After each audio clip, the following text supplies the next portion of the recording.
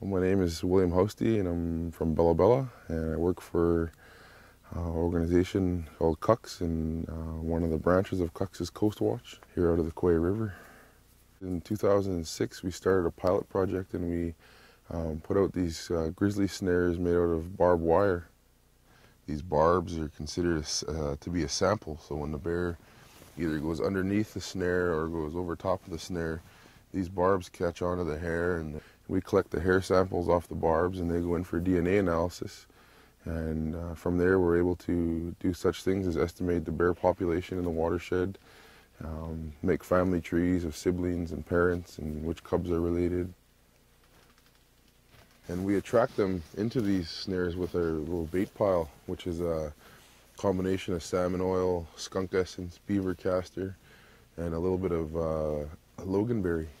So it's a nice, stinky little bear cocktail that attracts the bears to, to leave their feeding areas and to come in and check that out. And while they're doing that, they deposit some hair onto our, our snares.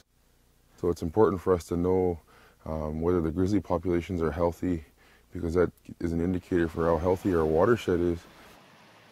From our DNA analysis, we've, we've identified 60 plus individuals so that means that we've had bears that are not, probably not only local to the Koeye watershed, but also bears from other neighboring watersheds that come in on a low salmon year and, and take advantage of the Koeye's run.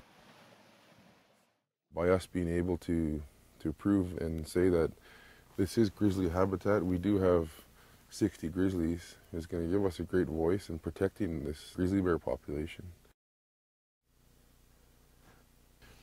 All those years of hearing my grandfather say that uh, it was the ocean and the and the forest that sustained us.